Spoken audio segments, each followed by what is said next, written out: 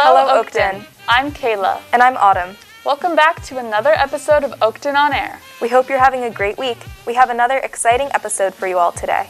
First up is breaking news. There's still time to sign up for Oakton's talent show. If you have any talents that you'd like to perform for the school, go to Schoology to sign up for an audition. February 7th through February 11th is National School Counseling Week. Consider reaching out to your counselor to share some kind words of appreciation. Congratulations to Oakton's Scholastic Bowl team, who competed in the Northern Region tournaments on Saturday, February 5th. Lastly, the empty trailers will start being removed from Cougar Town. For students with classes outside, be on the lookout for a new walking path. Let's find out what happened this week in sports.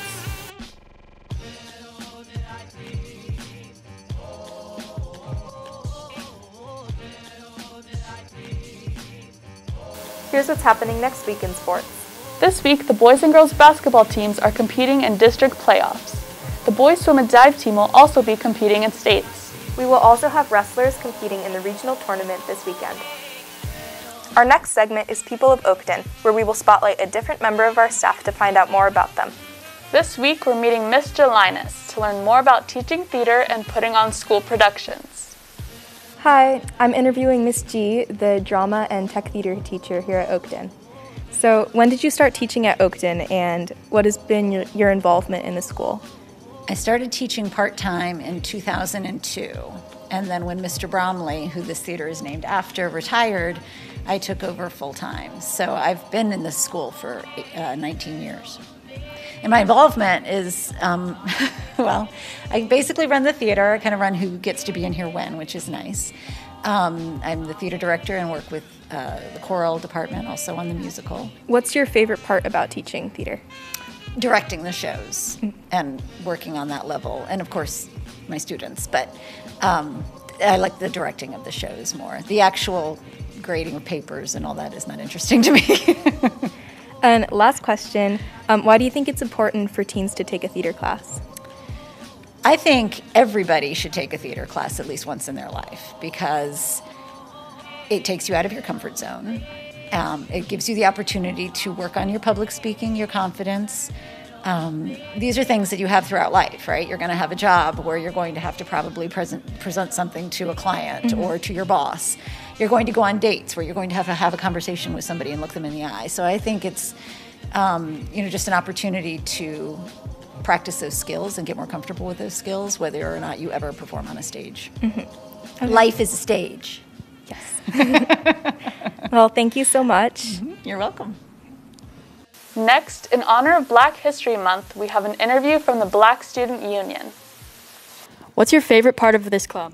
I love that everybody has something re- to relate to. Like, there's always like negatives, like, oh, yes, I've faced like ignorant things that have been said to me. But there's also like, yes, there's stuff that I do at home that you do at home as well. So there's something that we can always relate to in the club. And it's not just like, oh, yeah, I've never experienced that, experienced that before.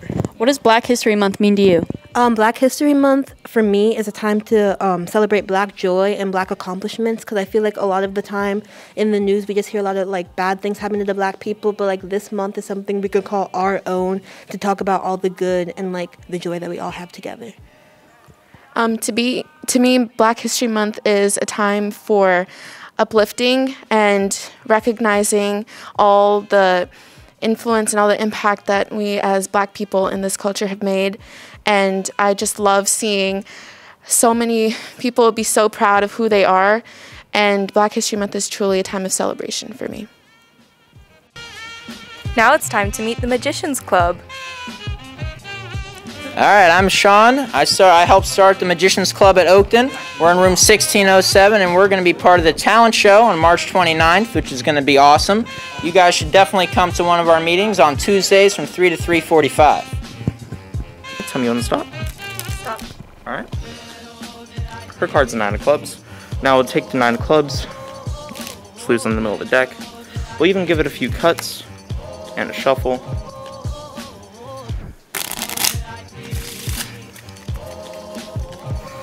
So now her nine clubs is lost somewhere in the middle of the deck.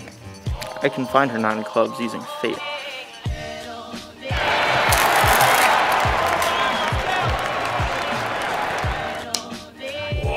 Whoa. So we have we have a deck of cards here. I don't know if you can see this. It says "Follow Your Dreams" on the back. Very inspirational, right? I just want you to pick a card. So just say "Stop" anywhere you'd like. Stop. Right here. Okay. Look at that card. Don't tell me. You can show the camera. Show everyone else. So here's here's what's gonna happen. I'm just gonna spread out the cards. Just stick your card in wherever you'd like. All right, there we go. So I'm not to do anything. I'm just to show you that all the cards say follow your dreams on the back, right? All I'm to do is I'm just to show you the top card, the seven of spades, right? I want you to hold out your hands like a table. I'm to put the seven of spades right here, and I just want you, here, I, actually I can take this now, I just want you to make a hand sandwich, sandwich that card up, perfect. Okay, so now what we're going to do, we, we mentioned that all the cards say follow your dreams on the back, right? But what if I told you we can change that? But not to anything, to your specific card. Like if you chose the seven of spades, we can change it to seven of spades. That'd be pretty cool, right? Yeah. But you didn't choose the seven of spades, right? What card did you choose? The Queen of Hearts. All right, you chose the Queen of Hearts. So what's going to happen is when I snap, you're going to lift up your right hand, and it's going to say Queen of Hearts instead of Follow Your Dreams. That'd be pretty crazy, right? Mm-hmm. Check this out. Queen of Hearts. Queen of Hearts. And now you just stuck the Queen of Hearts in the middle of the deck, right? Check this out. Flip that card over. The Queen of Hearts. Wow. And that's all for this week's episode. See you next week.